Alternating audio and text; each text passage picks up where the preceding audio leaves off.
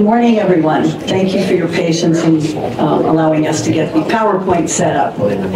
My name is Robin Jarofsky Capsam. I'm going to be a panelist and a moderator with my esteemed colleagues, but I want you all to know we're all moderators and panelists tonight, this, this morning. This program is going to be addressing something that has been important for decades and is getting more important day by day because the world is simply getting smaller and we all know that. Corporations that were small become big. Even if they stay small, they will continue to be doing business cross-border. Whether it's an employee or it's an independent contractor that they have in another region, it has to be managed carefully. And that's what we're all going to be sharing with you today is the tools for doing that. How you can guide your clients in getting through a simple drama to a crisis basically, we've got companies that have to cross a border and manage a new legal regime, changing and fluctuating laws, seconded employees, cyber crimes. So what we're going to impart to you today is we're going to start by looking at what are the requirements? What phases do you have to go through when you get that phone call, I got a problem and wrongful conduct in one of my subsidiaries in another place? The second thing we're going to do is we've each selected a scenario and we're going to tell you about practical, real situations with solutions, with balancing the culture, the laws, the company's desire to make money. And how do they not get an employee to maybe quit in the middle of a crisis when you're not really sure who's at fault? And then we're going to share with you some tips and then we're going to open it up for Q&A and we want you to participate and that could be asking questions to anyone up here. It could also be maybe you have an answer to a question somebody asked that we didn't have. So with that, um, I just like to, everyone's going to take a few minutes to introduce themselves. Um, you already have their bios, so we didn't want to take the time away from the substance that we want to share. So let's start from one, one by one, and everyone would just briefly tell you who they are. Hello, everybody. I'm James Tunkey. I'm a Chief Operating Officer of an investigations company called I-OnAsia. Uh, the views that I'm going to express today are my own and not the views of my firm. And I'm going to uh, really talk about a couple scenarios today that are derived from the over 5,500 cases I've managed uh, at I-OnAsia since joining as a senior partner uh, almost 20 years ago. Thank you. Good morning, Santiago Concha from Colombia. I am the uh, the uh, head of the corporate and M&A team, and uh, we advise international companies investing in Colombia. Good morning. Uh, my name is Charles DeMonaco. Um, it's a pleasure, and honor to be here. Um, as far as my background is concerned, I was a state and federal prosecutor for 22 years. And I was uh, in the district attorney's office doing everything and involved in matters from retail theft to contract murder, U.S. Attorney's Office with narcotics, organized crime, and then Chief of White Collar, and then in Main Justice here in Washington, D.C., is the Assistant Chief of the Environmental Crime Section. So in my practice area, um, I'm in white collar criminal defense. It's including internal investigations, both domestic and international, and then civil litigation in both trial and appellate courts. I work with many of the practice groups in my firm, including international law, healthcare, town litigation, securities fraud, and environmental litigation. This is my 50th year as a lawyer, and I'm, I'm now counsel uh, in our law firm. Every day for me is a new challenge and a learning opportunity, and we hope to impart to you today some of what we've learned over the years. Thank you. Good morning, everyone. My name is Hiro Tsukamoto. I'm a partner of Nagashima Ohno & Tsunematsu, a Japanese law firm, and I used to be based in Tokyo, but now I am based in New York because Nagashima has an office in New York. And uh, through our New York office, I have been assisting many Japanese companies doing business in the United States and American companies doing business in Japan. And uh, uh, with respect to my background, I'm dispute resolution and investigation lawyer, uh, and I have been advising uh, Japanese companies in their uh, uh, investigation, uh, particularly uh, you know with the United States, because now I am based in uh, New York. Uh, and also, I oftentimes function as a, a local counsel in Japan uh, for the global investigation led by the multinational companies. Happy to be here. I'm, as I said, Robin Jarowski Capsan. I'm a partner at Zahn Law Group, a boutique law firm in New York City. Um, I spend part of my time between New York and South Florida. My background is a little bit untraditional um, because I started as a litigator in New York City in the commercial area for 10 years. Then I spent 28 years between Shanghai, China, and Hong Kong, handling mostly corporate matters as a global general counsel, and that encompassed IP, employment, and various other compliance and M&A. Um, I'm back in the United States now, very proudly to say, and with Zahn Law, I'm working in the same kind of areas with an Asia focus and a, a, global reach. And from that, I get also get involved with a lot of cryptocurrency arbitrations. So with that, I'd like to get started. Um, just want to ask everyone if your phones are on, if you have to work, please make sure they're silent. Um, I may look at my phone, but it's because of time for no other reason. Um, and the fact that my husband was just calling, I'm ignoring it. Um, so let's get started. So basically, this is our agenda. What we are going to do is we're going to start slowly and explain to you the steps that are necessary in order to manage an investigation when that phone call comes, which is we've got a possible or definite wrongful conduct in our subsidiary. The first thing you're going to do is we're going to address what policies should you have in place? I always say the best way to plan is to know what you need on the back end and have it on the front end. And that's something that Li Feng said yesterday in one of his presentations. Know your end game before you start. Then we're going to uh, handle how can you identify that crisis because it comes in different shapes and forms. We're going to look at what you need for a team, which what you need for your plan, what you need for the actual conducting of an investigation, and how do you handle the recommendations and implement it. The one thing we've all agreed is that basically this timeline is fluid. And it's fluid because as you go through step one, two, or three, you realize I've got to new fact, and I'm going back to step one or two, and they're all happening at the same time. And we're going to share that and let you see it from the actual scenarios that we've all handled. I'm going to turn this over to Charles, um, and we're all going to share the slides, and we're going to have interactive discussion.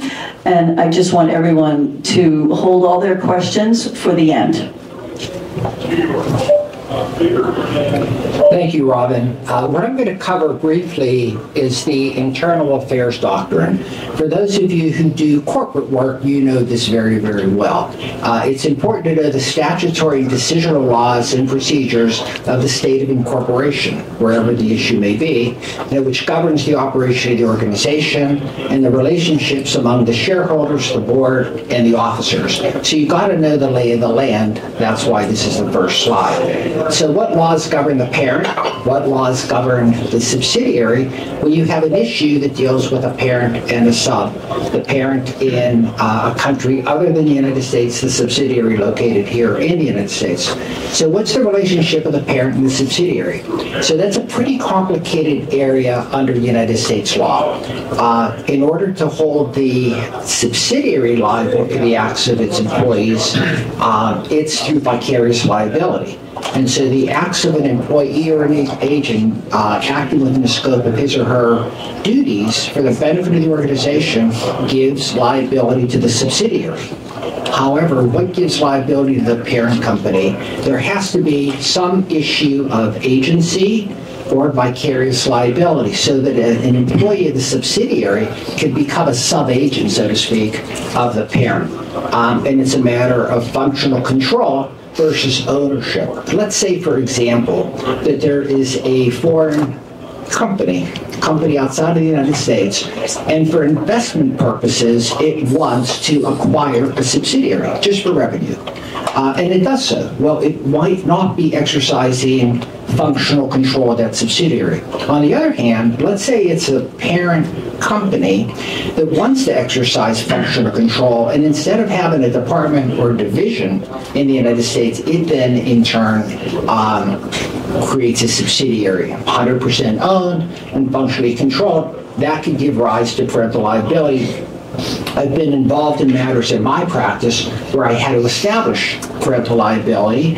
And in a situation like that, it's kind of the intersection of corporate governance and economics very document intensive where you need experts in governance as well as in economics. So part of the internal affairs doctrine, you've got to know the decisional and statutory law of the state of incorporation.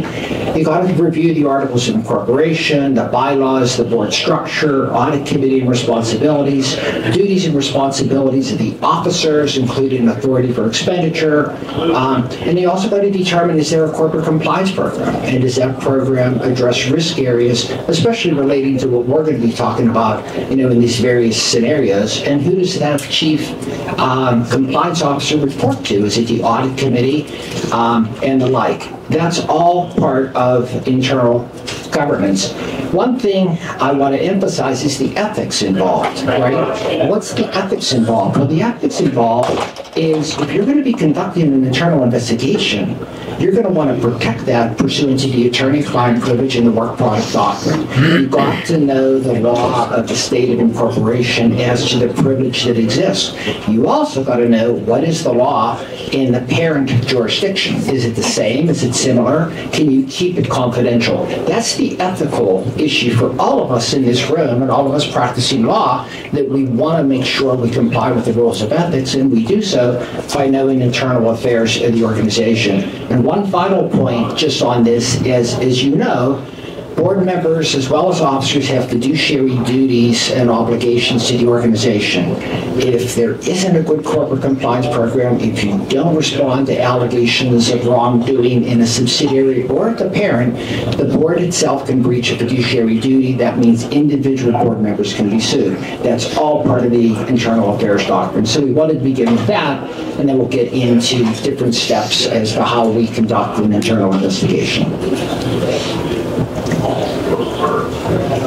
Um, next, we're going to have Santiago um, take step one. But before we do, I just want to comment that the issue of ethics and the attorney-client privilege, we have to look at it from both or all jurisdictions because they're different. Um, in China, you don't really have an attorney-client privilege. You have confidentiality to a client, which has exceptions. The exceptions are if there's an issue of public safety or national security. So you not only have to look at the issues from your own country because they may be very different and influence you in you know the country where your subsidiary is located. So we want to share with you um, the cases, and we will go after with the cases, but highlight things that you might know and you have lived, but worth highlighting and mentioning again. Um, we need to identify the fire and how and who does it. Does your company have a whistleblower uh, mechanism? Is it is it good? Is does it work? Have you checked it? Um, do, do people use it? Because normally when there is a wrongdoing, when there is something that you need to investigate, it really comes from the inside. The inside source is very important because they are the ones that know what's going on. And we'll see, and we'll see how it goes in the cases. Um, or is it from an external source?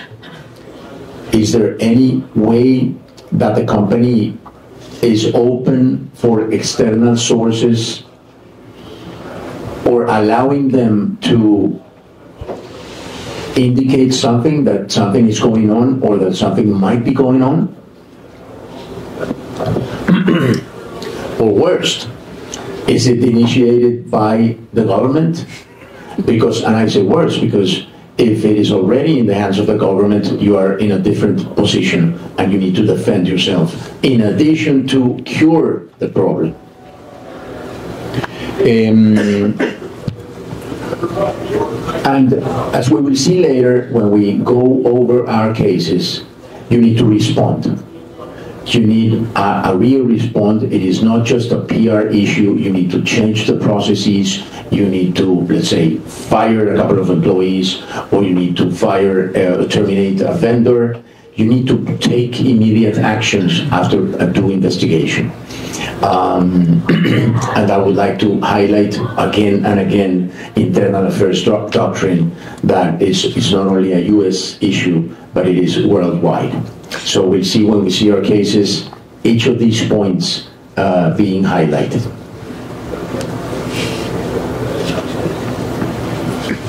Hiro? Next, we're going to have Hiro discuss how do you put that team together now that you know you've got the problem. Oh, well, uh, you know, as as Santiago already explained, uh, as a step one, uh, we we got to identify uh, the issue, or we got to identify the fire. And uh, once the fire is identified as a, a, step two, we need to set up the good investigation team. and it is particularly important when we are dealing with not you know domestic investigation, but a global or international investigation, because as uh, Robin already mentioned, uh, there are uh, you know differences uh, in the uh, legal systems in let's say in the U.S. and in you know Colombia, in you know or China, in Japan. Uh, and and also, or, you know, or even before all the differences uh, of the uh, legal systems, first the language is different, and second, uh, the decision-making process is also different. And third, uh, how and where the documents are stored uh, is also different. And uh, in order to overcome those differences, uh, we needed to make sure that we can secure the very good uh, you know, investigation team in each of the jurisdictions where the relevant component are relevant component are existing. And uh, one uh, particularly important point is, uh, you know, or perhaps also again, um, as Robin mentioned, attorney-client privilege from the ethical perspective. And, you know, like in China, uh, in Japan, uh, we do not fully recognize or establish the attorney-client privilege protection. Although we do have some, you know, similar uh, protection based on the professional confidentiality or uh, based on some, you know, statutory, you know, or exception to the uh, document production obligation. Uh, but, uh, you know, or we need to understand, the investigation team needed to understand the, uh, you know, or differences, uh, you know, or between or among the, each of the relevant jurisdictions. And that is the reason why, you know, it is very or pivotally important for us to, you know, secure the very competent international investigation lawyers team from the uh, very beginning. And once we can set up the uh, very good, competent uh, investigation team, then uh, we can move on to step three.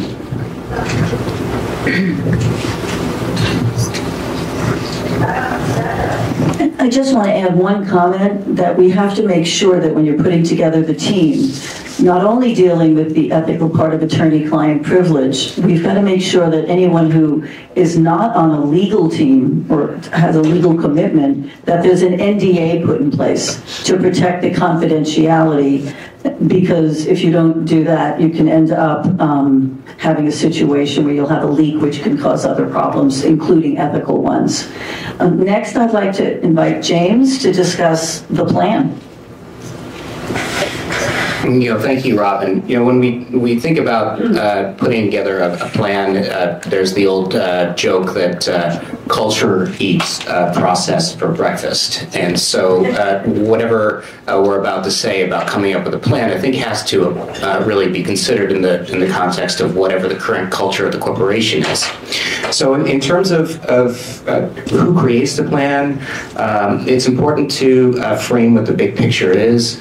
there, really, history does rhyme when it comes to corporate misconduct, and so if you can have experts around you who've seen similar types of cases before or be able to make uh, good judgments about what this might be. It should not only help you in framing an investigative plan that fits the jurisdiction, but also the typology of the misconduct. And so uh, the first step is really to uh, form a team that uh, together um, it gives its best guess about what the, the big picture really is. And then based on that big picture, uh, to really understand what is known, uh, what is not known, including uh, know yourself, uh, maybe other people on, on site who you don't need to include in the investigation because they are, um, they are part of the problem, and, and to be flexible. So when it comes to uh, framing the details, often um, you know an investigator will actually be called in first uh, because very little is really known about whether something is true or not, and um, uh, we will get uh, tasked by um, internal counsel, for example, even before uh, the outside uh, team is is framed, because there's just not enough detail to really make a determination about whether there's any any problem at all, or a management will come in and say but I think that I need to handle this by first understanding what is the investigative challenge here, and then uh, they'll work with their trusted counsel in whatever the local country is. Um, often people will try to micromanage that process. So when you come up with a plan, you need to understand it. Are you being micromanaged? Uh, and so uh, in terms of the details, uh, it's important to understand what are the tasks, what are the, what's the timing of those tasks going to be, what are the stages of the investigation, and to frame out uh, uh, who needs to collect evidence, uh, what, where does the evidence need to be retained, uh, what witnesses are going to be interviewed, what's relevant documents, how do we preserve them, and then where are we looking for it um, in terms of the electronic information. Thank you. Thank you, James. Now, what we're going to look at now is we're going to have Charles revisit not just the internal affairs doctrine, but how is it going to apply to conducting the investigation, which is the next phase? Thank you, Robin. Yes, to build on what James, Santiago, and Hiro mentioned, um, now we're at the stage where we're going to be conducting an internal investigation. That's extremely important. Um, the way I do it is I base it on my career in the U.S. Department of Justice. How did I conduct an investigation when I was a criminal prosecutor? Well, I worked with the FBI. Uh, I worked with other investigative agencies. We worked together as a team and we produce a really good product that can be relied upon to possibly bring action down the road. So that's the way you conduct an investigation. Um, you review physical documents, maintain copies of them. So there could be hard copies of documents in various offices. It depends upon what the allegation is. If it's an embezzlement or mismanagement by an officer or the like, you gather all those relevant documents. As we know, in this day and age, everything is electronic. You're going to have emails, you're going to have electronic documents and the like. You got to have a system in place where you can extract extract those documents um, and then be able to ingest those documents into some computer model that will help you analyze them. It's a very difficult process. Um, you have to develop a strategy. How do you identify other relevant evidence? Well, we work with very good forensic accountants who are able to give us predictive models of what other documents would be relevant. That's very important. Um, as James mentioned, we interview witnesses. Well, how do you interview a witness of, um, of a company, uh, there's a ethical issue right then and there that, that we as lawyers need to play, pay close, close attention to. You know, you probably are familiar with the name of Upjohn, the Upjohn case, the Upjohn doctrine. What that means is that if I, as counsel for a company, want to interview an employee of that organization, I have to tell that employee that I am not that employee's lawyer. I am the employ- I am the lawyer solely of the organization. And what I do, it's called upjohn warnings, I put those in writing. And I give it to the employee, the employee signs it, I sign it, it becomes part of the investigative uh, file. Uh, you could run into serious ethical issues down the road. If the company, for example, says disclose this internal investigation with a government agency, you do so, it implicates a witness, and the witness then says, wait a second, I thought you were my lawyer. How could you reveal that to the government? That's where upjohn warnings come in, and that's an ethical requirement. So that's how I do it. Um, you have to make in, uh, internal administrative decisions. Let's say there's an officer accused of wrongdoing, and there's some credible evidence, as Santiago was mentioning, the credibility of the information. Well, then what do you do? Well, maybe you have to send, suspend that individual. Maybe suspend the person with pay, maybe without pay, depending on the seriousness of the allegations and what you've determined.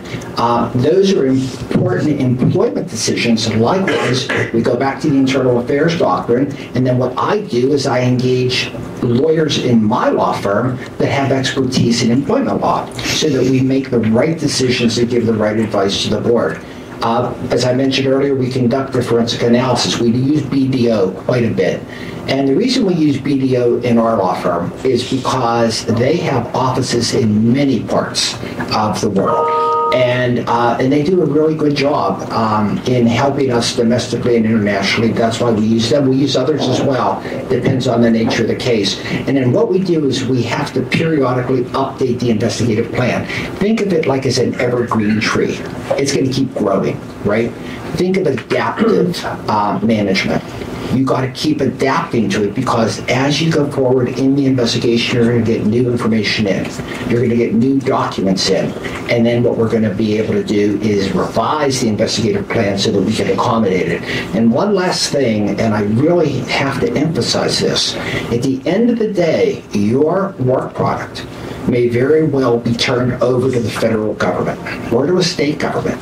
So, what do you have to do to make sure that the evidence is preserved? Well, first of all, you got to preserve it. So you're going to have the company stop um, getting rid of any documents. There's going to be a retention of documents, and it'll be unlimited until further notice. But the other thing is chain of custody.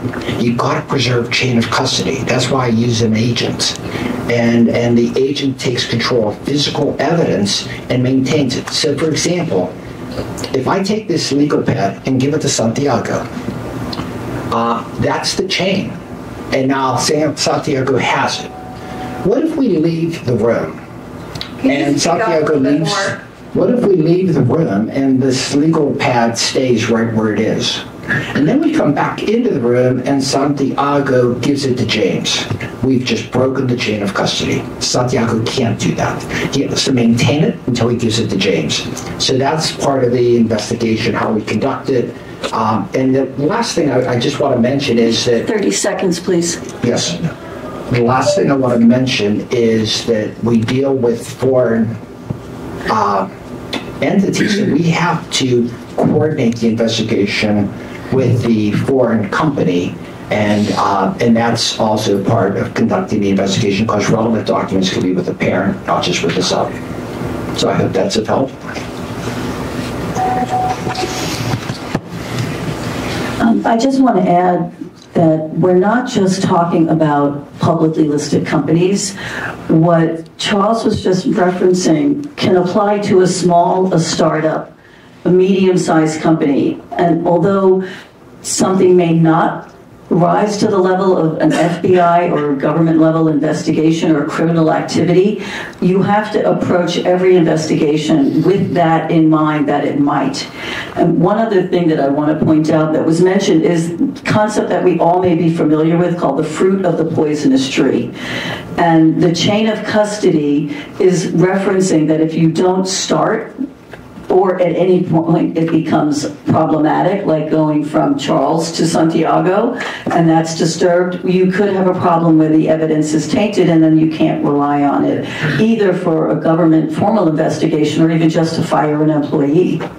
And they can claim, depending on the, the laws of that other jurisdiction, that it's not sufficient evidence. And I know in China, it becomes very problematic if you don't have proper documentation, because oral testimony is not necessarily relied on or considered the best testimony. It's going to be what's written. And so that's why it's very critical what Charles was just pointing out. The next is what do you do with all of the information we've collected? Um, it's what are the what do you do with the results? Well, you can report it and handle it. The one key thing that everyone should know is whatever you do, whether the company is small, medium, or large, public, private, government, family office, you need to document it, which is exactly what Charles was saying. If you don't have a documentation of it, it when people or the government come back to you in the future, it becomes very problematic. Sometimes it's simply kept at the ownership level. Sometimes you've got to report to a board of directors in a formal report. Um, sometimes you just have to give them a summary. Even if they, the board says, I only want a summary, just stand up and I don't want you to take time with the report. Some clients will say, I don't want to pay you for the report. The answer is if you give an oral presentation, always have a backup written one in your file in case there's a question that comes up in the distant future. When you're looking at what goes into the report, you've got to make sure that you designate it properly. You can't just prepare a report and hand it off or email it. Sometimes you have to send it because of the confidential nature or the high secure nature of the information in a, in a link. You have to mark it confidential, attorney-client privilege, work product privilege. You need to make sure that if it falls on eyes that you don't want to access that information, that they know they should not be looking at it and it should go back to its source. The other thing is, is if you're providing something where there really is complex legal analysis, you then want to maybe push back to a client and say, I know you only want this orally, but I have to give it to you in writing because of the complexity, because I need you to understand this balancing act that's involved. And maybe the balancing act has to do with the inconsistencies between the law of the parent company and the law of the subsidiary region. And maybe you have three or four in a multi-district um, area, multi-jurisdictional region. You have to really manage all of that. Anybody else want to comment before we go on to the next level? Yeah, One. Cases. let's go. Charles is going to now give a brief comment. Just a, um, a comment on that. The way I do it is I present the findings of the investigation to the board. I follow board direction. They'll tell me, do they want it in writing? Do they want it orally? Do they want it disclosed to the government? Do they not? Do they want to take other action? But that's how I do it. I follow the direction of the board. I think that's pretty good advice.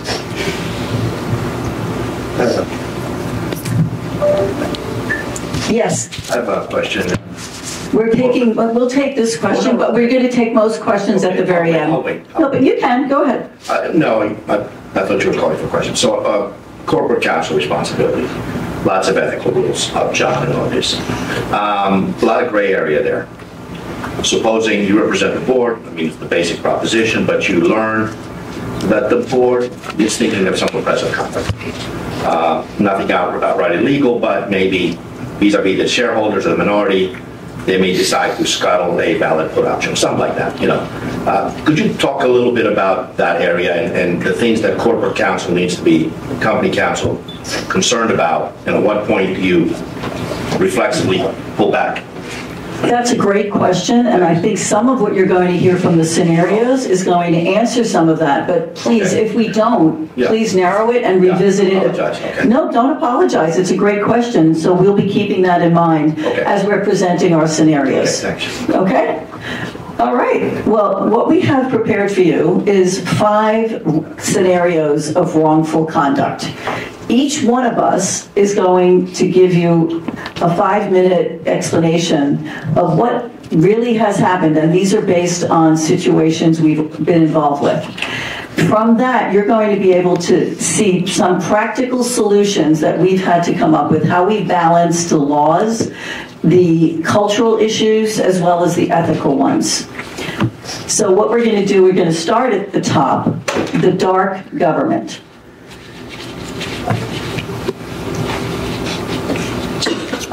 Yep. So this is the fun part. This is what really happened. This is a, an acquisition done by a UK UK private equity fund through a Delaware company of a Colombian subsidiary. The acquisition was done without our advice, I have to say. The acquisition was done before, six months before, one, one year before, through a UK law firm and American, uh, an American company doing the, uh, the financial due diligence. Once we came into the into the um, into the company to advise the company, we had a management meeting. Client was a U.S. company. My client were the the UK and the US companies, but we were going to advise the regular the day-to-day operation of the company, which was a manufacturing facility.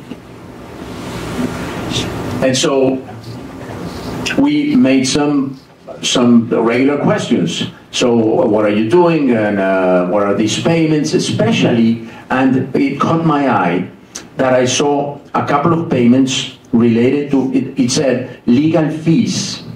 So I asked, who's this company? And they said, those are the lawyers in Cali, the city where they were located. These are the lawyers in Bogota. And there were two individuals with I would say funny names in Spanish, but let's say it was like Michael Jackson and Charlie Brown. They were in Spanish and, and, and, Colombian related, but it was Michael Jackson and Charlie Brown. And I said, and uh, do you pay this legal fees to this Mr. Michael Jackson?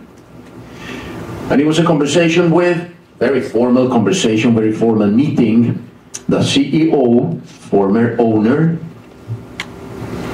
the CFO, the COO, and us. There was a couple of lawyers from our team and, uh, and an accountant, a new accountant appointed by the acquirers. And so they look at each other now. Oh, oh, oh. I said, please, please tell me what these payments are for. And they say, that Michael Jackson is the head of the guerrilla in the zone. So he takes care of the guerrilla not attacking us. And this is in a very dangerous uh, zone of, of, of, the country. It was very hot, very, and I mean hot in terms of violence. Um, so they were paying, and this, of course, the payments started before the acquisition, way before the acquisition. And so, okay, I was taking notes. And then I said, okay, and who's, the, um, who's this other guy? The other payment. And by the way, the payments were maybe a thousand, a thousand five hundred dollars each per month. Petty cash. The other payment was to the army. So they were paying the army to have them as friends. It was not a formal paying to the army, not to the army of Colombia, but to the captain that took care of the region. So they have security from the government and they have security from the guerrilla. And this is sad, sad for me to say. It was a real, it was a real situation that was going on all over all over the, the, the, country in many in many companies. And, and I see back there all of the Latin American firms saying, mm, this is difficult. This, it, it all happened in our countries. But it was difficult. Now, and I, I picked this case because of the relation and payment to guerrilla, relation and payment to the government, but most importantly, all of the ethical considerations of the parent companies in the UK and the Delaware company making the investment. So we had to face UK Bribery Act, FCPA, and the, start, the analysis started with many things. Is this, was this known by the country general manager, the, the CEO, who was a former uh, uh, owner. Of course, they said, of course. Was this known by the board in Colombia? Yes. Is it documented? They said no. Well, no, we're not that stupid. so it was not documented, but they knew. Everybody knew. So now, uh, and I highlighted that it was a UK law firm doing the acquisition because they didn't make these questions. They didn't know the culture. Now it's difficult to make these questions, but you have to. And I highlighted also that it was one of these, the, the American um, big four companies, because they didn't use loc- their local company, their local channel to make those questions or to go to, go to the to the to the real stuff and say who are these guys Michael Jackson and Charlie Brown? Um, so is this a bribe? Paying the army on a monthly basis for them to buy Coca-Cola and sandwiches and maybe t-shirts or something is this a bribe? Is it within the threshold? FCPA has a, you, you, you know better than I, but FCPA has a threshold of petty cash payments or something, and UK bribery, uh, another one. Would this pass a reputation test? If this goes on CNN, is it something that we can defend? If it goes on CNN London, maybe that's an answer. And the team that we were talking about has to discuss all of this. If this goes on CNN London, is this presentable? If this goes on CNN New York, how would the Americans see it if this goes on CNN Bogota or Colombia? Would the answer be, okay, that's illegal, but customary? So different questions that, that go on. Now, the other point was the ethical, the liability, the ethical responsibility of the lawyers, because we discovered that just by making a question. We, as lawyers, discovered it. And we had the obligation.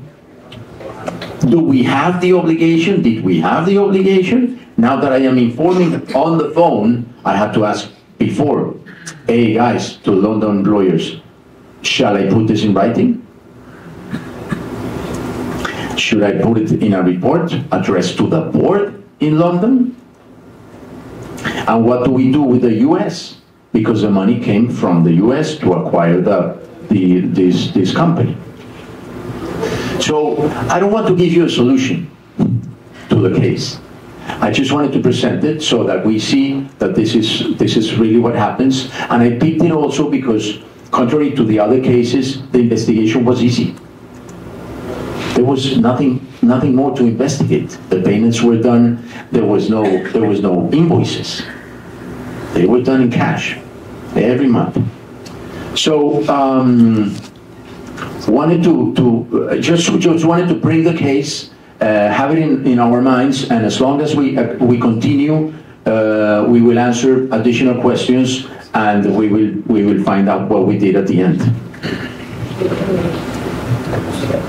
Next, we have Charles, who's going to talk about the whistleblowing theft. We're going in the order of Okay. our ring. Okay, thank you, Robin. Yes, mine will be brief. And as you can see, it's embezzlement and it is whistleblowing.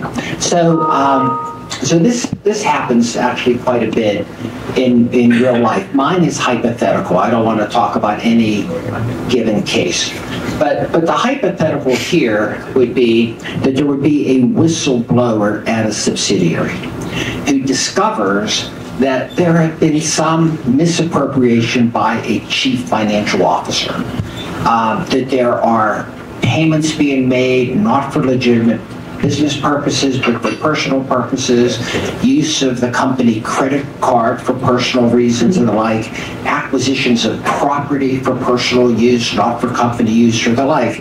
And let's just assume that the whistleblower just doesn't have any confidence to report this allegation to the subsidiary.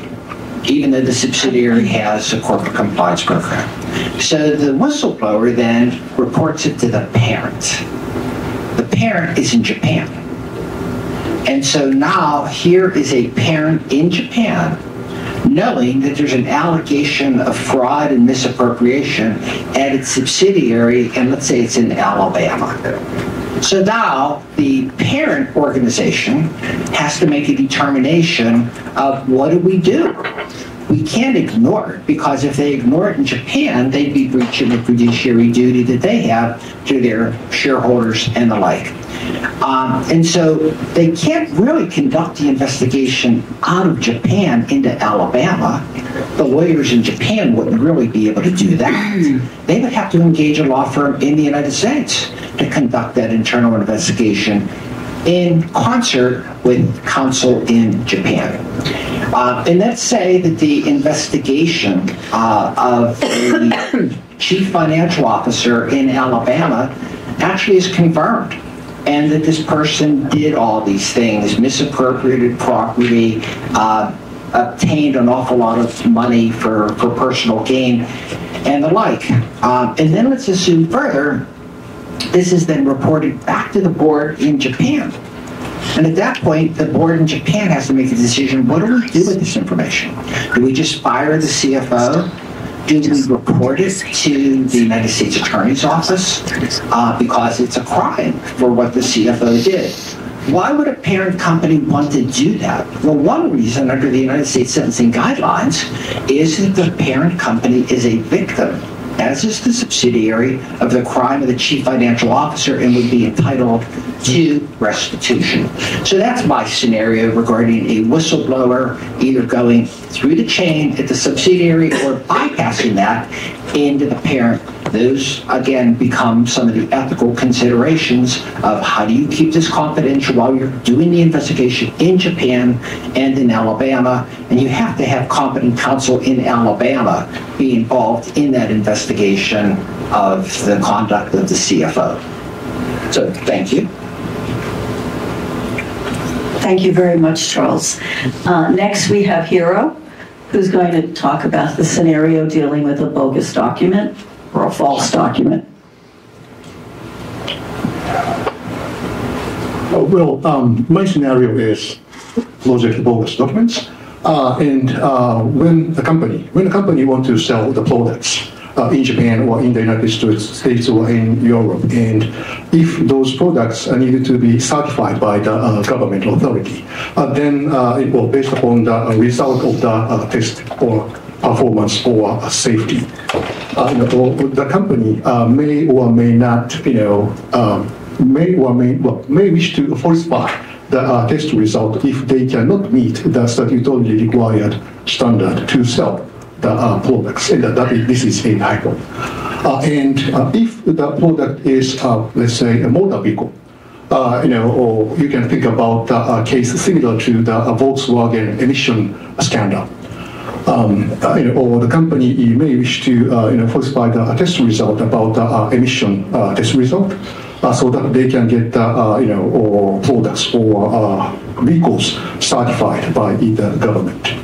And then in, in Japan, uh, that matter uh, should be, uh, you know, or monitored or governed by the Ministry of Ministry of Land, Infrastructure, and Transportation, which is basically the Japanese counterpart to the Department of Transportation in the United States.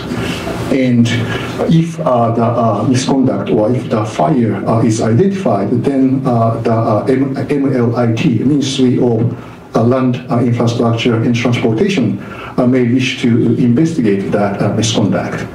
Uh, and if even if uh, the uh, products are, are, manufactured in Japan and sold in Japan, if those products are also sold in the United States or in EU, obviously the investigation will become global in Japan, in the US, in EU. Uh, and uh, there are uh, two, uh, you know, or things that uh, or we, I would like you to uh, note or understand as differences between the United States and Japan. And the first point is, you know, as, as we already discussed, the attorney-client privilege. And in the United States, uh, we would like to cover our investigation by the attorney-client privilege by, you know, involving the counsel from the very beginning.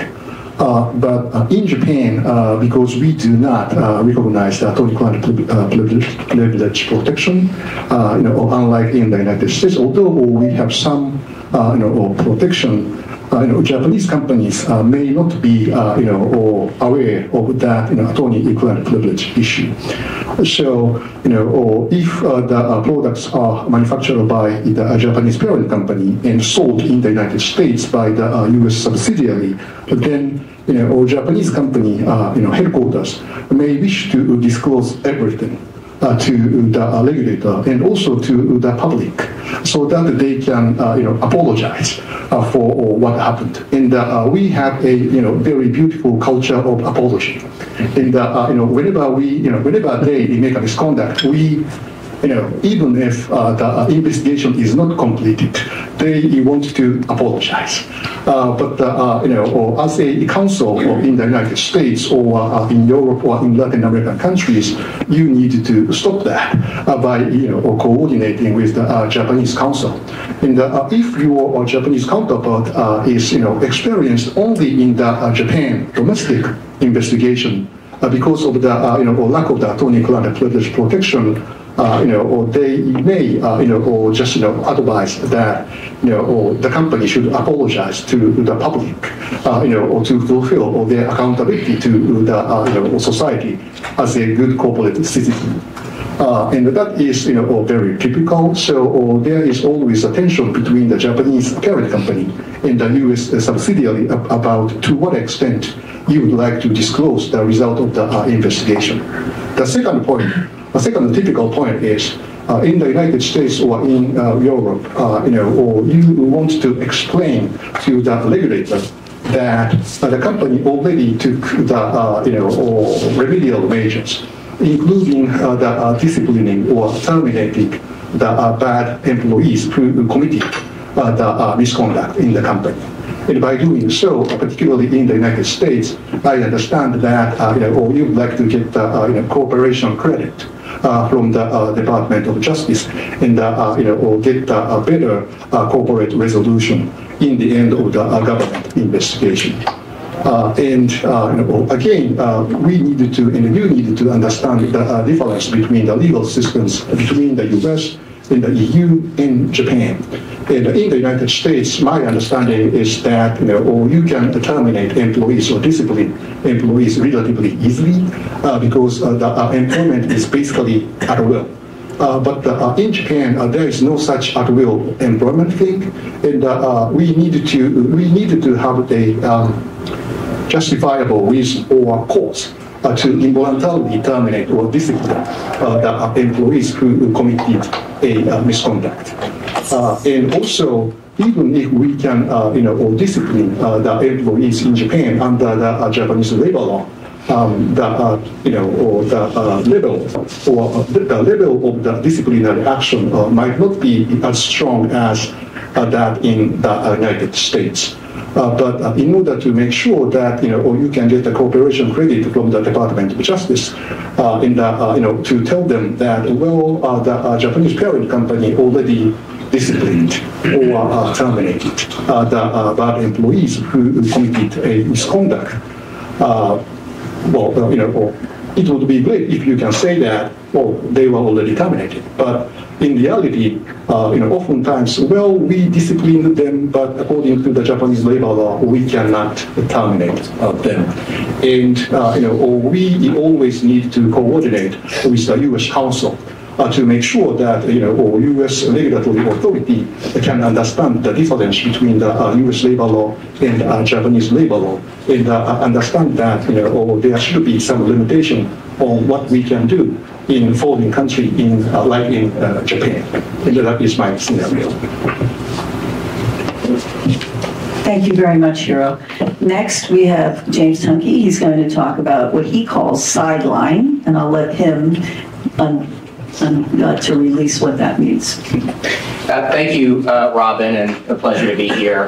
Uh, so I'm going to uh, try to keep my scenario tight and understandable, uh, and uh, then make a few comments. before I do, I just want to pick up on something that, that Chuck said earlier and really go and really highlight these categories.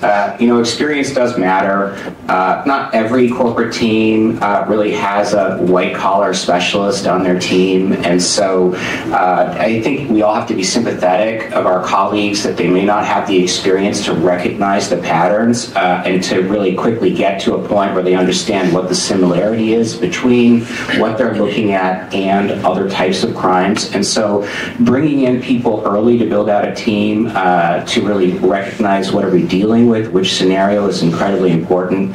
One of the things that we see a lot in our practice is this idea of a business being sidelined. Uh, so, for example, in a scenario, uh, a U.S. company or a European company uh, invests in an overseas uh, business, makes widgets. Uh, this overseas widget manufacturer has a very strong CEO and local management team. It's what's made them all successful and attractive as a business target. So the uh, widget manufacturer overseas, let's call it local company, is uh, going steady and presents great numbers, and there's a transaction and uh, a lockup period for the local uh, CEO and uh, some of the local management team. Uh, along the way, uh, first quarter, oh, uh, a few people have decided that they're going to move on and retire. Okay, some of the local management team starts to disappear. Uh, no big deal, and off they go. They're not missed. Uh, the local CEO promises that everything's going to be fine. Next couple quarters are, are pretty soft, actually. The business was supposed to be growing, but the, the business isn't growing. The local business is now starting to uh, to look like a mm, possibly a weak transaction. What's going on here? Well, we're going to trust our local people, and and everything's going to be fine. Uh, then, right before the lockup period ends, a, a few more executives leave. Well, it's understandable. They're moving on to the next step and uh, the lockup period expires, more weak results, and uh, we now have uh, been uh, eating a, pretty bad transaction. We realize something's going on here. We start to ask questions. The management starts to say, why is this business failing?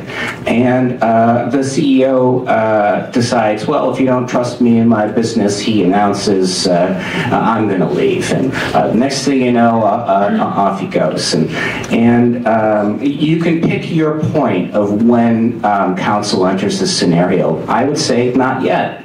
Uh, so then, um, oh, uh, the CEO's left, and, and we can't seem to find uh, who's really responsible now for uh, signing off on the bank account? And where did the corporate seals go for this uh, local entity? And oh, oh geez uh, we can't seem to uh, find uh, some critical documents that we need for, uh, for for running this business. For example we can't seem to find the supplier lists or our key customer and distributor lists.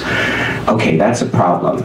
Oh and then in this scenario and is often frequently in scenarios we talk about where we get the information from, some local employees start to come forward. And one of our key distributors starts to come forward and say, oh, actually, they've set up a sideline business and uh, they're making the same product now. And the people that left all the way back at the beginning have actually been incubating a, a new local competitor. And it gets worse. So we think the CEO is over there. Now, to take this uh, one step further, because this does happen, imagine that the old uh, local CEO is still friendly with lots of your staff and they still go out for dinners. And the way it gets worse, the CEO decides that he's going to show up with three SUVs on a Sunday night and the local security team's going to let him in and uh, key documents disappear out the back of the loading dock, and other key computers start to disappear from the offices. Now, how do you handle that investigation? I would say that there's a couple of, of key things. When we talk about uh, an investigative plan, um, we have to really think not just about the legal considerations, but about the business considerations. Um, and, and here I think it's important to ask just a basic question.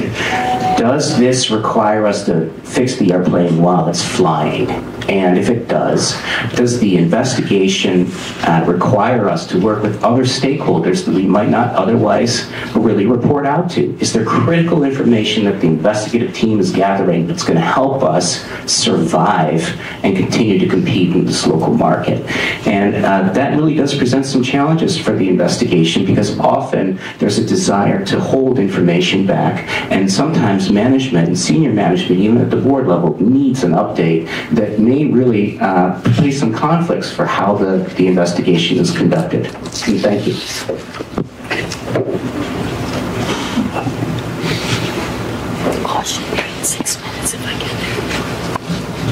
Thank you very much, James. I've selected a scenario that follows a lot of this investigative plan, and it started with a due diligence of an acquisition by a U.S. company that owned a Hong Kong, that owned a China subsidiary. I was working on the China side. And the question became, should you be buying this company? Why? Well, we, there wasn't a lot of documentation. There were two sets of books, which is normal over there. And we looked at them, and there were so many inconsistencies. We said, from a financial point of view, you need a financial due diligence. CEO said, I don't want to do it. I'm buying it against the recommendation. Two days before we're closing, we get the disclosure schedule, which had a new page on it. It's called government corruption. Mm-hmm. They reported an employee that they said might be government but might not. He's a hybrid. Without getting into the analysis, which we did um, before, of course, pausing the closing, said, we really think that you shouldn't go forward. Of course, they did. It's a good deal. And now we're looking to sell again five years later, and it's even better. But the recommendation came with you must do an internal audit immediately after the acquisition. The question is, what is that going to be? Because we already knew there were problems, but the key thing was we thought it was more in sourcing and so that's where it comes to, is this person really getting a kickback? Is the government involved with this? There were so many questions we were asking because they were triggering FCPA um, concerns. To then flash forward, the board said, I want the investigation. And we had to keep in mind that the problem may not just be in China, it may trickle all the way up to the US side, dealing with customs, dealing with the operations committee overseeing them in China. So we had to balance it. So the first thing was, we want a secretive team. We had one lawyer in the US, one lawyer in China, and we like Charles pointed out, we gave everybody, even the Chinese staff, the Upjohn warning to make sure they understood that we were doing this to get a better handle on who the company was, how they operated, and what we were really doing was looking for inconsistencies in the 20 different employees in both countries who we spoke with. So we had to be concerned about the ethics, the FCPA, and also balancing it with the labor laws in China because that's not at will. It's very difficult, like Hiro pointed out, to fire somebody in China. So with our investigation, we went to and asked the board, what is your goal? So first we got the instruction. The goal was we want to know any recommendation you have so that we can be squeaky clean, legally compliant. Doesn't mean we're going to listen to you but we want to hear the truth of what we're buying because we know we're taking a risk. So we first did level one, issued a report, gave recommendations of the three people we felt that they should be getting rid of, how they should be getting rid of them, meaning compliant with China labor laws. And then on top of that, who we also thought we think this person's maybe the ringleader but we don't have the proof. For these other three employees, we have the proof. Then the question is, is that proof sufficient under China law to take an action or is it under US law? So we had violations of potential ones of the FCPA, but we didn't have sufficient evidence to fire these people under China law. So it became a balancing act of how do we implement it, and then looking at ethical considerations when the CEO says, Do you really have to put that in the report to the board? I'll manage it on my own quietly. And with that, we then had another conversation with counsel of our ethical obligations and who is our client. Do we need to report that conversation? And so when you're looking at this investigation started for sourcing, we uncovered, as has already been pointed out by some of my colleagues, you don't know where you're going and what other issues you're going to spot. And what I tell people is when you're doing an investigation on X, don't disregard that you have to cast a wide net because you may come up with A, B, and C. And even if we don't want to address them now, you should have a list that you start in the beginning of the investigation and you put it down so that when the investigation's done, you don't forget them and sweep them under the rug. You actually pick up a second or third investigation. And so from this, we made the recommendations. They started to implement them. And then we got into an employee being a hero saying, I'm going to take care of getting rid of that person, and went ahead and tape recorded conversations. And then we had to question whether or not that tape recording was the fruit of the poisonous tree. Can it be used in the United States? And we had to look at both, and I call it the ping pong game.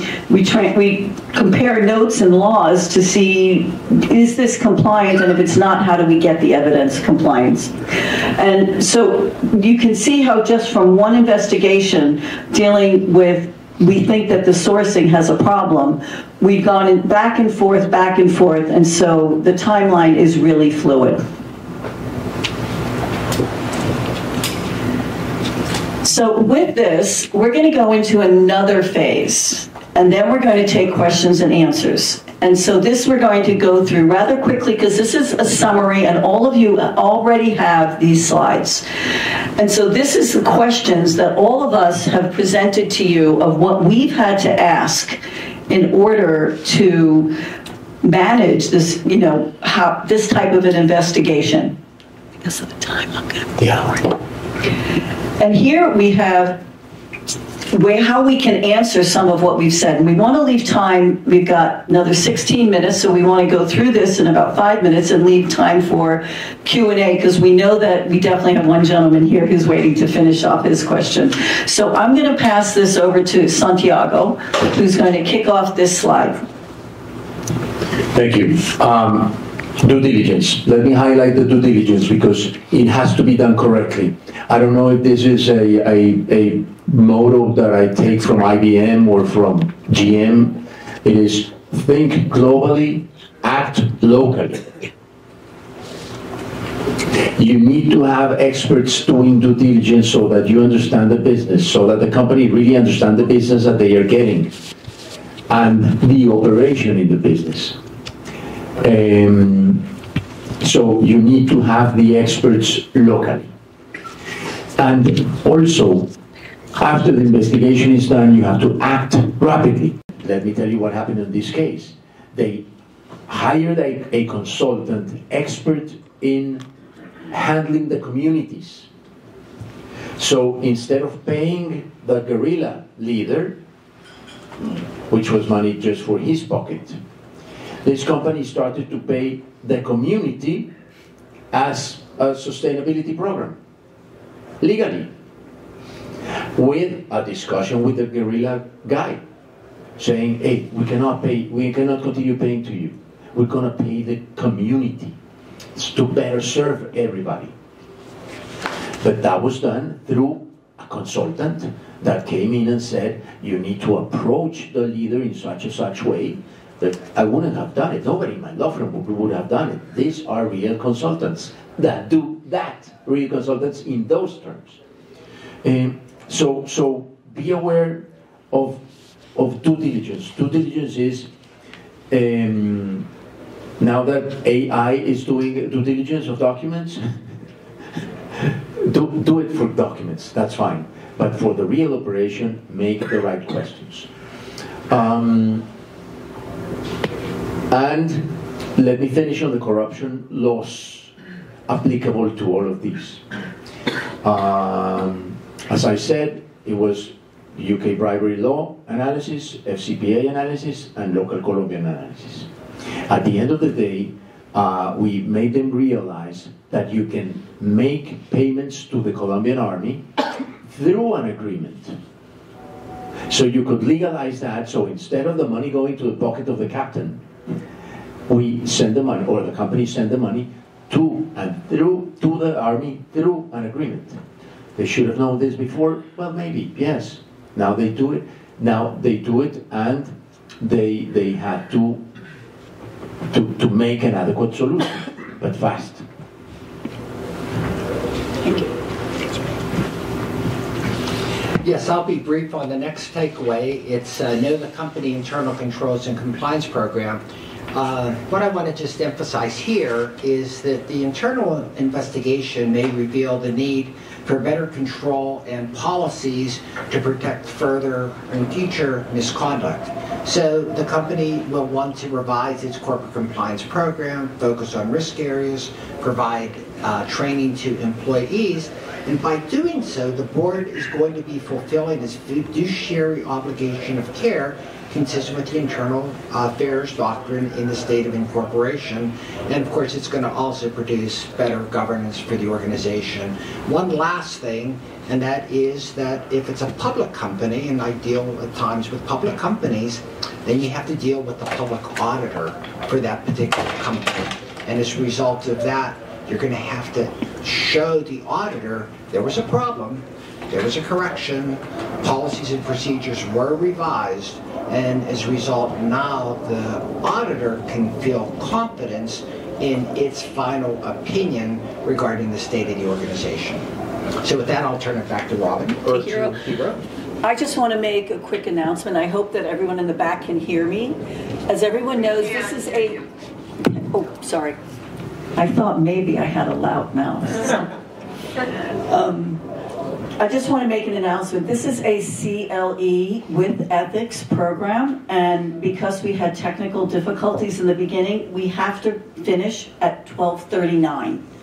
And so I'm hoping that doesn't burden anyone or inconvenience anyone, and I hope that you will all stay until the very end and participate in the Q&A.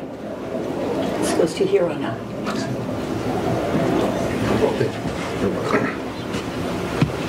Well, well um, I will I will briefly explain uh, that uh, you know one of the uh, biggest mishaps.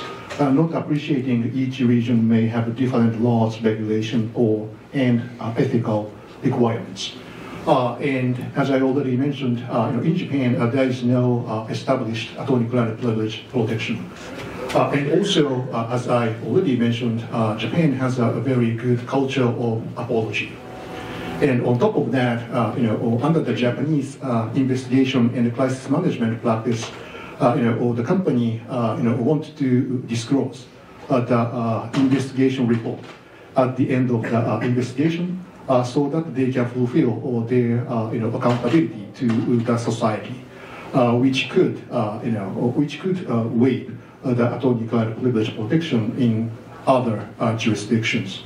So, you know, or if you lead, if you lead the uh, international investigation uh, from the uh, United States, uh, and that international investigation includes Japan or other countries, uh, you know, where uh, the attorney-client privilege protection is not honored or established. Uh, you know, from the very beginning, you needed to make sure that uh, your counterpart in Japan or other countries uh, you know, or that, you know, or they or we should not disclose the, uh, you know, or detailed investigation report to the public. Uh, because you know, or that will be obviously used by the uh, you know, or class action plaintiffs in the United States later. Uh, and uh, if you do not do that, uh, and if the uh, if your Japan counsel uh, does not have enough, enough experience of the international investigation, you know, or because of the strong request from the Japanese parent company, uh, you know, or they just, you know, or let them uh, disclose the uh, detailed uh, investigation report, uh, which should be protected by the attorney- uh, attorney-client privilege. Uh, and uh, uh, that would uh, cause a, a big disaster uh, in the uh, United States later.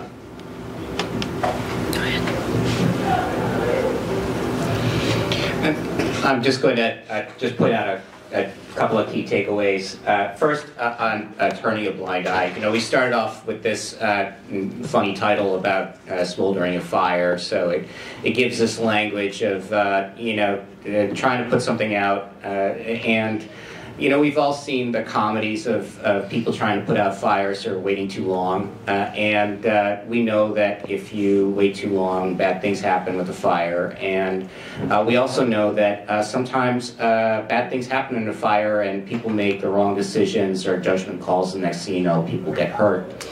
So, uh, you know, in an investigation, it's really important to to really defend yourself against uh, pressures from the business, uh, to turn a blind eye and to remember to act ethically and to uh, take a stand for the people around you to act ethically uh, and to make sure that um, uh, people are given proper guidance on, on what their ethical expectations are because they may not have the cultural background or the training necessary to really make good judgment calls in the moment. When, uh, when I look at the, the rest of the key takeaways, again, uh, the only other thing I would say is uh, what's not on uh, here uh, quite expressly is to remember the business. Uh, and that you may be required when it talks about doing your homework at every stage to really think about the business. so, for example, in my scenario, I spoke a little bit about how uh, the alerts that come in from the, uh, the local marketing departments and key customers. And uh, I think it's important to remember that the business might be looking for uh, an understanding of when are the results going to come through and uh, when uh, when are we going to see an end to this and what's the result? And uh, sometimes people forget that when they go out and they start running an investigation they forget that they've got other stakeholders who are interested in what the progress is. And that is a part of the homework. Thank you. I just want to end with one thing that everything re references on this slide which is you have to listen to what your clients are telling you, both their expectations. You also have to sometimes adjust their expectations by reading between the lines. You also have to listen to your witnesses or to the people around you because maybe the instructions you're getting may not be clear or maybe they don't know what the real issues are. And I just want to give a very quick example where not with this particular matter where I had a situation where a forged document was submitted, the company CHOP was stolen, there was a big problem in the middle of the lawsuit, and I had two employees show up in my office. Not culturally normal. So what did I do? I listened. They sat there for a half hour squirming, and I knew they wanted to tell me something, but they didn't know how. Culturally, it was a very embarrassing thing to tell me.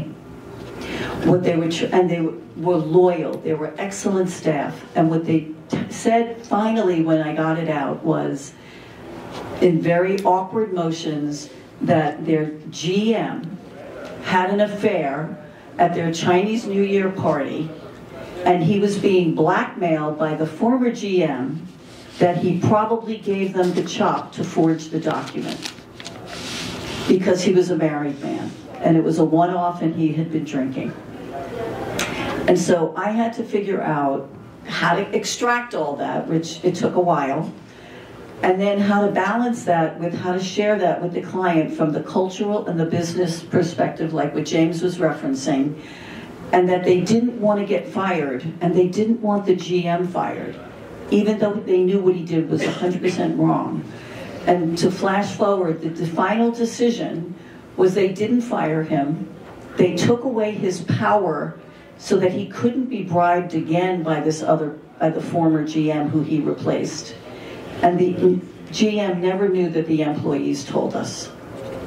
And because that was because the parent company management culturally appreciated what it took for them to do this, but that the boss was that good even though he was bribed on a personal level and could have immediately been fired. So with that, we're going to go to Q&A. And we just want to start with the gentleman who asked earlier to see if we didn't I'm talking, Me? yes, y- see if you, there's any follow-up, or did we answer your question? Well, I, I have better questions now, sorry. So with And let's try to keep them one, at one per person, so that we can can I run actually, through like three little? yes, I just want to give, uh, so the people in the back can hear you. You said you have I've three similar- questions? I've had a similar situation, no guerrillas, we haven't had guerrillas in Europe for a while, but the community situation. But then you learn that uh, there's le- levels, right? The community leaders may be uh, uh, blocking other competitors or impeding licenses. That's the first thing, just a comment. Real quick on the gentleman here. um, James. You know, uh, that's a nightmare scenario. You gotta bring unfair competition and related claims, but in European litigations, uh, just practically where there's no discovery, it's not as easy as here. Very difficult. You don't have witnesses, discovery, depositions, and so forth. Uh, And last, I want to say that the uh, issue of firing people when you can't, and there's severance provisions, limit- that's a big issue. They've done bad things, but now you, you have these strict labor laws. So that's, that's my comment. Anyone else? Paul?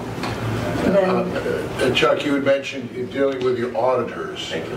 uh, Excuse and- me, Paul, we want to make sure that everyone in the back of the room can hear you. Chuck, you had mentioned dealing with your auditors. These investigations take time. When do you disclose to the auditors? What factors do you look at? Because you have confidentiality, uh, you haven't established all the facts. And let's say it's a report, a public company, and it's reporting, and they, like in the US, we have a t- quarterly 10, 10K, and the auditors would like to know this. How do you decide when you're going to disclose? What, what precautions do you take? Okay. So, the, uh, Oh, thanks. yeah, that For the gentleman. sake of the video, um, we're not going to pass it around. So if anyone else has a question, could you stand up and try to speak loudly so everyone can hear?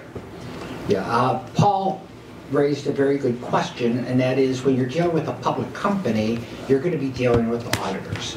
And the auditors are going to be doing audits for both quarterly as for as far as the annual. And also, there could be special times because if something occurs in the organization where there has to be a special report. It's very delicate for we as lawyers conducting an internal investigation on behalf of a public company because we have to coordinate on behalf of the company with the auditors because the company has that obligation of disclosure. So the way we do it to protect confidential information is we disclose facts. So for example, if we were to provide something to the company that has our legal analysis in it, we do not give that to the auditor. It's just simply fact-based. And we do it promptly, and what the auditor is looking for is an end result. What did you do as a result of the allegation? What corrective actions did you take? Maybe you need new policies, new procedures, whatever it might be. You have to satisfy them that the company is now operating with good governance. That's how we deal with it. And as Paul, Paul's question kind of implies, it's an ongoing process. These internal investigations take a long time. You can't do it quickly if you're going to be thorough. So you have this ongoing dialogue with the auditors, with virtual meetings, and they happen maybe weekly or, or, or bi-monthly, but it's frequent. But that's how we deal with it. But thank you, Paul. Any other questions? It is lunchtime. I have, a- sorry, hi. I have a question for all of our panelists, um, and they can pick and choose who wants to, or to, to um, answer it. When it comes to conducting an investigation, when you close your file, how do you handle, or what do you recommend for a document retention policy? I understand that every country has different expectations and laws. Um, I just want to know what your recommendations are beyond what may be a legal requirement. As a non-lawyer, maybe I'll, I'll, I'll start and pass it to you, Santiago, after, if that's okay.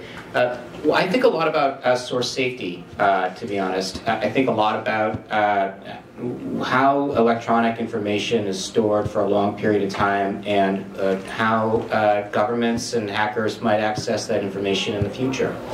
I think a lot about uh, what the future privacy considerations are going to be of the people that were involved and whether the digital life of the electronic stored information is going to outlast the useful life of, of retention.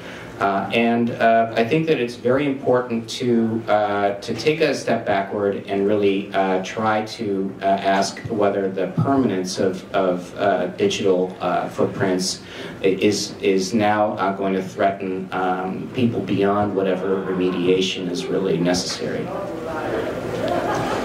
We have a client that is a Japanese company in their Colombian operation, and they delete the emails yearly. and if the employee leaves, they delete the emails 30 days after she left. So if we have litigation or an investigation six months after, one year, two years after, there is no information. And I have not been able to convince them that it is not, it is not a legal obligation, but it is a common practice to do it better, to keep the documents, to keep, not the documents, the email uh, documentation.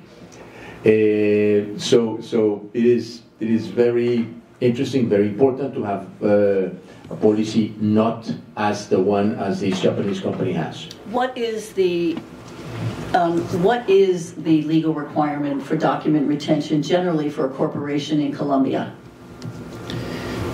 10 years. Document retention, 10 years. And but email is a document. Interesting. Well, thank you, Santiago. Um, as far as kind of advice on the retention uh, of documents, it depends a bit on kind of what we did at the end of the internal investigation. In other words, did the board ask us to disclose the information to the government? If so, we follow the lead of the government, and the government will tell us when not to continue to retain the documents that we have, because most of the relevant documents go to the government. Uh, as, a, as a gentleman uh, asked earlier, in I think his first question dealing with shareholders and the like, there's always the possibility of a shareholder suit. You know, as soon as you have this public disclosure based in the audit, that goes to the shareholders of an organization, they could sue the board and board members for breach of fiduciary duty for not exercising their duty of care to hmm. prevent this from happening. So as a result, you have to maintain the documents to be able to defend and address the issues that could arise from that type of a suit. In addition, there could be tax obligations. For example, if you're dealing with a nonprofit organization, and I deal with those at times. You do an internal investigation, um, and you find that officers have misappropriated funds. Well, what do you do with that? You have to disclose that on public tax documents because they're a nonprofit organization. As a result of that, the IRS now is going to impose tax liability on them you know, as unauthorized individuals to get that money that's generally a six-year period of time. So, uh, so I guess the question, the answer to the question, Robin, is for me, at times it depends on the results of the investigation. That was your question. Yeah, I, I mean, it, it gets very tricky. And, Yeah, and I it hate to tricky. use you as my lawyer, but, you know, you have a chairman of the board, there's a put option that the minority shareholders have saying, I don't think I'm gonna honor that, you know, at a meeting. And now you're like in a situation that's very unusual, right? I mean, it hasn't happened, but there's a threat. So I'm just, there's issues here within issues. Well, I- But I think, oh. oh, Oh, please. I I was, I was just Sorry, gonna say. didn't mean to ask another No, I was, I was just going to say, when I do an internal investigation, I'm not representing the parent organization for anything else. Because I could be a witness, my work product is very relevant information. They'll hire other counsel to help defend shareholder suits and the like. and that's what I was going to add, is you have to always go back to who is my client? You know, is it the board? Is it the, pa- is my client the board? Is it the corporation? Is it one of the executives? Who's my client? And at the same time, even if my client says, I don't want you to give a report, if I know this is something that really can end up in the wrong place, I keep my own file, Especially if the board is a majority shareholder, is running it. especially. But you have, no, but I mean, my opinion though is, and this is my view, uh, it doesn't matter to me if you- the client is the small, the smaller or the larger shareholder. If there is a potential concern as a lawyer that our documents can end up in the courtroom or the subject of review by a government authority, we should make sure that our files are complete. The best thing that happens is someday they become the source of helping build a fire, like what we're trying to put out here today. At, and at the worst, you have the proof to defend your license. And that's what a lot of this is all about, is doing what's right to protect not just our client, but we don't want to cross the line and then be in our client's shoes and we need to hire lawyers to help us. Maybe here are less comments. Here are less comments. Hiro. Well, uh, just quick point about uh, document retention. Uh, the, uh, document retention uh, really depends on uh, the uh, nature of the investigation or nature of the misconduct, and uh, uh, you know, or we need to you know or maintain the record of the investigation, you know, or to keep up with the let's say future you know course of action from the government or from the relevant employees. So basically, you know, my general recommendation is to think about the statute limitations on the relevant causes of action, and if there are multiple potential causes of action, uh, you should err on the safer or more conservative side. And uh, you know, one comment, uh, you know, or back to Santiago about the document retention by Japanese companies. You know, perhaps you know that the Japanese company is very experienced in the international, uh, you know, transactions, and uh, maybe uh, they wish to make sure that the uh, document should be deleted as soon as possible, uh, you know, based upon their experience in the uh, litigation or investigation in the United States. But uh, my general exper- experience of dealing with the uh, Japanese companies' document retention is, you know, as uh, as Chuck uh, already mentioned, you know, at the very beginning, uh, we ask uh, the client about uh, about their uh, document retention uh, or where the documents are stored. And their uh, immediate answer is, well, now everything is in the digital format, uh, and uh, you can find those, you know, all relevant documents in the central server of the headquarters. So why don't you, you know, send a team of the forensic company to our headquarters and to do the forensic investigation? But that's it.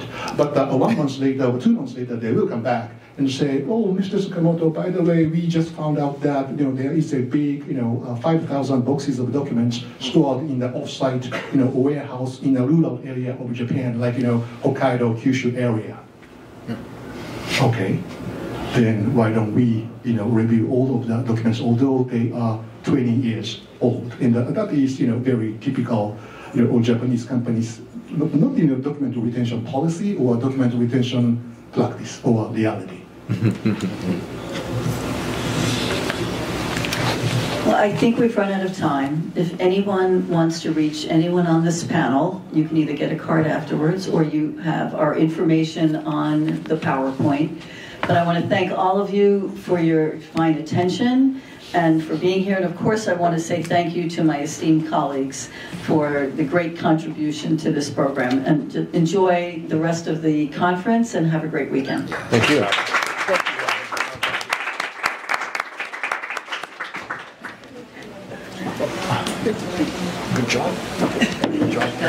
Good job. And so I took the last two minutes just to Typical Robin program, put together so well. Thank you. No, it was, it was a team effort, guys. I mean, Robin, I wanted to say hi. Yeah, you guys should know each other. Yes, we did. I got everything. She's oh, storing all the documents. I started at Fox Rothschild in the 80s in Philadelphia. Oh. Worked with Peter Byron, Jim Baxter, you know those guys? Years of white collar. No, not me. I don't, I was still in the government.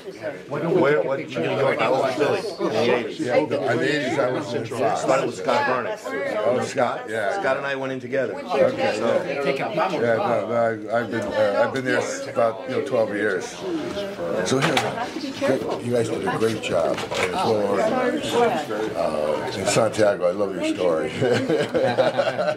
Yeah, the case study. Uh, but, uh, Our concern was, you know, our story or our scenarios might not be as interesting interesting as you know Santiago's Chanel because you know we can look up Gary uh, in Japan. You want my phone? But I will tell you, the way you brought it together, and I mean, I Robin, I know Robin for years, and she did a great job of organizing it. Really was very coherent, very well put together.